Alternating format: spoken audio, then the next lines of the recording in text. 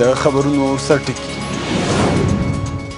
په چارسده کې د طالبانو ماته د غور ولایت د چارسدې ولسوالۍ له امنیتي ګواښ څخه په امن کې شو اگر این دفعه به همکاری نیروهای اسپیشل فورس خب سقوط از او جلوگیری شده احتمالی ازی که در آینده باز هم عین سرنوشت تکرار شود وجود دارد. له امنیتي ځواکونو څخه د امریکې دوامداره ملاتړ د امریکا ځانګړی څېړونکی د امنیتي ځواکونو د تنخواګانو په ویش کې د روڼتیا غوښتنه کړې د کورنیو چارو وزارت هم وایي چې دغه بهیر یې نوي سلنه روڼ کړی دی د روږدو کسانو پر زیاتېدو اندېښنه د امیر روغتیا وزارت د روږدو کسانو د شمېر د زیاتوالي لامل له نشي توکو سره د مبارزې کړنلاره په ګوته کوي استراتیجیایی که در ظرف سه سیزده سال گذشته به خاطر قلع قمع توزیع ایجاد و قاچاق مواد مخدر در افغانستان انجام شده کاربرد نداشته او د خلیج له هیوادونو څخه د امریکې غوڅ ملاتړ باراک اوباما ویلي چې د خلیج هیوادونو څخه د ملاتړ په موخه به له پوځي لارې هم ګټنه وکړي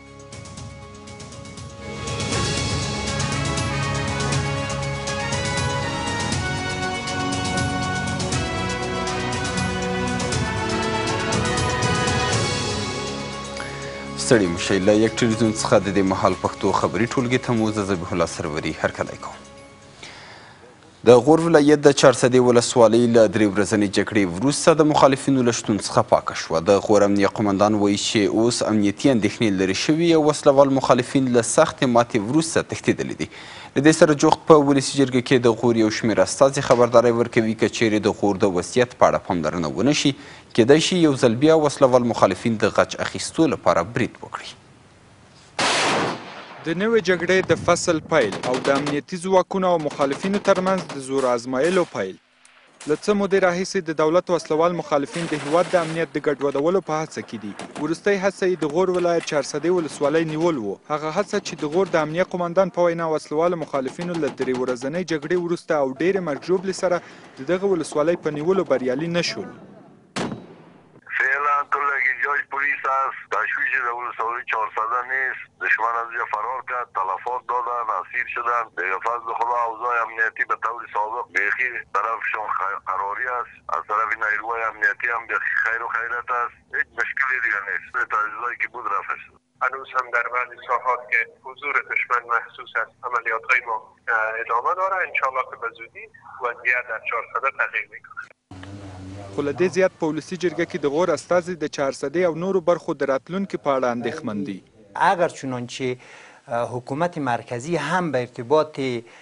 تقویه از اونا از نظر امکانات از نظر پرسونل دیگر کار جدیتری نکنن اگر این دفعه به همکاری نیروهای سپیشل فورس خب از سقوط از او جلوگیری شده احتمالی از که در آینده باز هم عین سرنوشت تکرار و وجود دارد په دې ترڅ کې د ولسي جرګې یو شمېر غړي چې نوي له غور څخه راستانه شوي وايي چې غور کې د درې ورځنۍ جګړې په ترڅ کې د طالبانو د قوماندان مولوي احمدشاه د وژل کېدو سربېره او د مولوي نېک محمد د کلابندۍ سره له پنځو سوو زیات طالبان وژل شوي. دشمن ضربه سنگینی اونجا دیده مه فکر نکنن که به تمام ولایتهای ما به این پیمانه تلفات کم نیروهای نظامی خود ما داشته باشند و تلفات سنگین مثل مخالفین باشه بنان من فکر میکنم که یک عقده و یک کینه دیرینه به فکر کنم به گلون نیازناب و مغزش خلق شد. له دې وړاندې د دولت وسله وال مخالفین بریالي شوي وو څو د لنډ وخت لپاره د هېواد د یو شمېر ولسوالیو اداره تر لاسه کړي. وروستۍ پېښه یې د بادغیس ولایت جوند ولسوالي وه چېرې چې لږ وروسته بېرته د امنیتي ځواکونو لخوا ونیول شوه.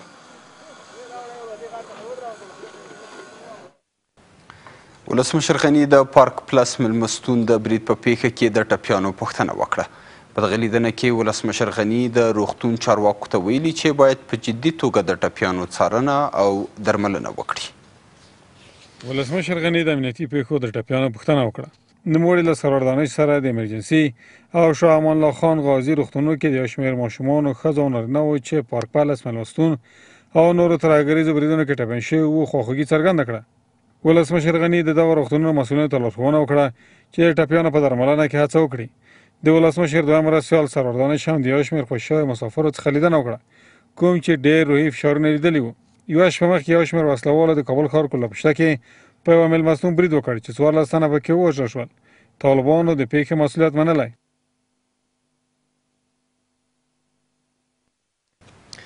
د افغانستان د بیا رغونې په چارو کې د امریکا ځانګړي استازي د هیواد له امنیتي ادارو غوښتي څو د امنیتي ځواکونو د تنخواګانو په برخه کې په شفاف ډول حساب ورکړي. نوموړي د افغانستان له امنیتي ځواکونو څخه د امریکا دوامداره ملاتړ جدي اړتیا بللې. په همدې حال کې د کورنیو چارو وزارت وایي چې د پولیسو نوي سلنه تنخواګانې په شفاف ډول د بانکونو له لارې ورکول کیږي او هڅه کیږي څو پاته لس سلنه هم د همدې سیستم له لارې وویشل شي. د امنیتي ځواکونو د تنخواګانو له سیستم څخه پر شفافیت او حساب ورکولو باندې د جان ساپکو بیا ټینګار د افغانستان د بیا رغونې په چارو کې د امریکا ځانګړي څارونکي په خپل نوي رپورټ کې له امنیتي ادارو غوښتي چې د هغو ځواکونو د شمیر په برخه کې چې تنخوا اخلي او دنده ترسره کوي شفافیت شتون ولري. د تنخواګانو شفاف سیستم چې پکې دقیق حساب ورکول شتون ولري جدي اړتیا ده څو له مخې یې موږ درک کړو چې د افغانستان څومره امنیتي ځواکونه پیسې اخلي او څومره یې په دندو کې دي. جان سبکو له افغان امنیتي ځواکونو څخه د امریکا دوامداره ملاتړ اړین بللی او ورباندې ټینګار کوي. د افغانستان امنیتي ځواکونو پر ځان بسیاینه اوږده لار مخکې لري، د دې لپاره چې دغه ادارې وکړای شي ځان بسیاینې ته ورسیږي د شفاف پروګرام له مخې پایداره مرستو ته اړتیا ده. خو د افغانستان د کورنیو چارو وزارت د دغې غوښتنې په ځواب کې وايي چې د پولیسو د تنخواګانو په ویشلو کې شفافیت شته او دمګړۍ د امنیتي ځواکونو نوي سلنه تنخوا د بانکي سیستم له لارې په شفاف ډول ویشل کیږي. صد درصد ما در صد و در افغانستان یعنی در کل بالاتر از نود درصد نیروهای پلیس از طریق بانکها از طریق یک سیستم ماشانه دریافت میکنند که در اوجه هیچ نگرانی نیست مطابقی د دد ارسد در تعداد از ولسوالیای دورده است که دفاتر یا نماینده گای بانک وجود ندارد در اوجه ماش به شکل فیزیکی توزیع میشه. د یادونې وړ ده چې له دې وړاندې د هلمند امنیه قوماندان د دغه ولایت په یوې ناامنه ولسوالۍ کې د پولیسو په تنخواګانو کې له اختلاس پرده پورته کړې وه او د ګمارل شوي پلاوي موندنو وښودله چې دغې ولسوالۍ کې د پولیسو د تنخوا په نوم په میلیونونو افغانۍ هیفومیل شوی په هېواد کې د نشي توکو پر وړاندې مبارزه ناکامه وه. د عامې روغتیا وزیر د دغه ټکي په څرګندولو سره وایي چې د همدې ناسمې تګلارې له مخې په هېواد کې پر نشو د روږدو کسانو شمېر زیات شوی دی. نوموړي دغه راز د درملو د واردولو دولتي شرکت د جوړېدو خبره هم څرګنده کړې ده. افغانستان هغه هیواد چې د روغتیا په برخه کې په سیمه او نړۍ کې ټیټ معیار لري. د بې کیفیته درملو له تولید څخه نیولې بیا په روغتونونو کې د روغتیایي وسایلو تر نشتوالي دا ټول د دې لامل شوی چې د افغانستان خلک هر کال د زرهاو افغانیو په لګولو سره درملنې لپاره بهر ته لاړ شي د عامې روغتیا وزیر مني چې د نشهيي توکو د روږدو کسانو د شمېر د زیاتوالي یو لامل د اغېزمنې تګلارې نشتوالی دی. تنها گپی عمده را که در این قسمت گفتم می توانم استراتژی هایی که در ظرف سه سیزده سال گذشته به خاطر قلع، قمع، توزیع، ایجاد و قاچاق مواد مخدر در افغانستان انجام شده کاربرد نداشته؟ بناا اولین سبق ایست که باید ما استراتژی ها تجدید شود. دومین سبق ایست که همکاری بین السکتوری جدی صورت بگیرد. نوموړی په هېواد کې د روغتیايي خدمتونو د کیفیت د لوړولو په برخه کې له پروګرامونو وایي، د درملو د واردولو دولتي شرکت جوړول له دغو پروګرامونو څخه دي. که تعداد کمپنیها تنزیل شود کاهش پیدا کند یک دوم کار ایست که مشارکت سکتور خصوصی و دولتی در این قسمت تشویق شود سیومین کار دیگر را که ان شاءالله انجام می دهیم که کار سرش روان است که او ایجاد شرکت ملی ادویه است در افغانستان او شرکت ملی ادویه معنایش ایست که خود دولت افغانستان سکتور خصوصی را ریفورم میره فارمسی را سکتور فارمسی را یک ریفورم میره سیستم اداری مالی خوب دش ایجاد میکنه ظرفیت بالا میبره نوموړی دغه راز دغه تورونه ردوي چې ګنې نوموړي د روغتونونو د بندولو په برخه کې له تبعیض څخه کار اخیستی. په همدې حال کې د عامې روغتیا وزیر مني چې افغانستان د معیاري روغتیایي نظام تر رسیدو پورې اوږده لار مخکې لري او په دې برخه کې باید ډیره هڅه وشي. اخوا د خصوصي روغتونونو ټولنه ادعا کوي چې په کابل کې د یو شمېر خصوصي روغتونونو تړل کېدل له قانون پورته دي. د دغې ټولنې ځینې غړي ټینګار کوي چې د عامې روغتیا وزارت د خصوصي روغتونونو د بندولو په برخه کې سلیقه یي چلند کړی دی. د خصوصي روغتونونو ځینې چارواکي بیا وایي چې حکومت غواړي څو د خلکو پیسې د بهرنیو ډاکټرانو جیبونو ته لاړې شي او د ګاونډیو هېوادونو د روغتونونو بازار تود کړي. هغه روغتونونه چې د ورځې لسګونه ناروغان د درملنې په موخه ورځي خو له دې نه وي خبر چې په ډیرو مواردو کې د دغو روغتونونو نتیجې د دوی د هیلو خلاف وي څرنګه چې په دې وروستیو کې د عامې روغتیا وزارت د خصوصي روغتونونو د نه معیاري والي له امله کابل کې نه خصوصي روغتونونه وتړل هغه څه چې دا دی اوس د خصوصي روغتونونو د ټولنې له نیوکو سره مخ شوي نظر به راپور خود وزارت صحت عامه مریض پول مصرف از جیب خود نمیکنه در شفاخانه دولتی دوار از جیب خود نمیخره معاینات از جیب خود نمیکنه و دیگه پول در شفاخانه دولتی مصرف نمیکنه پس چرا این قسم به اعتماد سازی در مجموع تمام کشور ضربه ببینه تمام دکتر افغانستان ضربه ببینه و گفته شود که کل مردم دکترای افغانستان کل شفاخانه افغانستان نقصای داره و غیر میاریستن و ما یارا بسته میکنیم د تېرو دیارلسو کلونو په ترڅ کې څو ځلې خلکو په روغتونونو کې د ناخوالو او یا هم د ډاکټرانو له نه پاملرنې شکایت کړی. تېره اونۍ د عامې روغتیا وزارت د نهو خصوصي روغتونونو د تړلو سربېره د درملو د واردولو د څلوېښتو او د کورنیو درملو جوړونکو یو سلو شلو شرکتونو جوازونه اخیستي. هغه څه چې د دې لامل شوي څو دوی د عامې روغتیا وزارت دغه کار له قانون پورته وبولي او حکومت پر سلیقه‌ای چلند تورن کړي. دامه که در اخیر توسط رهبری جدید وزارت انجام شد از نظر ما در موجودیت یا در روشنی قانون یک عمل غیر قانونی بوده این شفاخانه درست نیست و این شفاخانه درست است و این باید بسته شود اینمی خودش به اتوریتی شفاخانه ها به حیثیت شفاخانه ها و به چپن سفید ها بسیار زیاد توهین آمیز است و منفعت از ایره صرف و صرف کشورهای همسایه میبرد.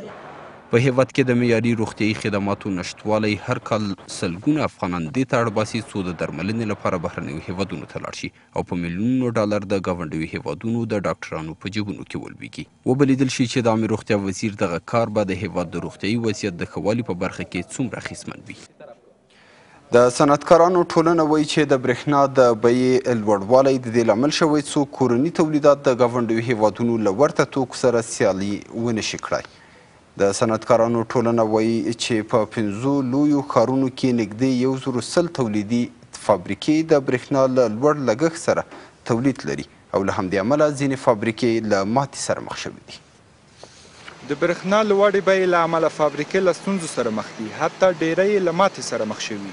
داسې فابریکې هم شته چې دولت په صنعتي پارکونو کې نه ورته ځمکه ورکړې او نه یې د برښنا بیه ورته تیټه کړې. په ننګرهار، بلخ، هرات، کابل او کندهار ولایتونو کې نږدې یو زرو سل فابریکې فعالیت کوي چې هر کیلو وات برښنا ورته په لس افغانۍ ده. په داسې حال کې چې په صنعتي پارک کې یو کیلو وات برښنا په شپږ افغانۍ ده.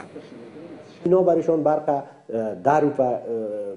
قیمتشان گذاشتن که اینا نمیتوانند در برابر امتعه و اموال بیرونی یا در مارکیت رقابت کنند بناا به شکل خلص برتان گفته میتوانیم که باعث عدم توانمندی سکتور خصوصی در اکثر بخشها دولت است. د بېلګې په ډول د جامو جوړولو دغه فابریکه چې دوه سوه پنځوس کارګران لري او برښنا د بیې لوړوالی هغه لامل دی چې د چین او هند له ورته تولیدي توکو سره سیالي ونه شي کړای، مسؤل یې دولت باندې نیوکه کوي چې نه ورته په صنعتي پارک کې ځمکه ورکوي او نه یې د برښنا بیه ټیټوي. اگر برق ما را به حساب هزینه شه کمتر بکنه ما میتونیم که کار ما را انکشاف بتیم و بتونیم با بازارهای خارجی رقابت کنیم و بتونیم که مشکل لباس مردم رفع بسازیم تا از واردات لباس بی کیفیت یا با کیفیت به هر صورتش یعنی از کشورهای دیگه جلوگیری کنیم و بتونیم خود ما مشکل مردم رفع کنیم له زیاتو هڅو سره ونه توانیدو چې د برښنا شرکت نظر واخلو. د تیرو دیارلسو کلونو په ترڅ کې افغانستان یوازې په نولسو برخو کې پر ځان بسیا شوی، سره له دې چې شونې وه چې په نورو برخو کې هم پر ځان بسیا شي خو پانګوال د دولت له خوا د ملاتړ نشتوالی د دغه کار پر وړاندې خنډ بولي. زموږ د نن شپې پښتو خبري ټولګه پر همده ځای پای ته رسیږي. دا چې تر دې دمه له موږ سره واست، یوه نړۍ مننه.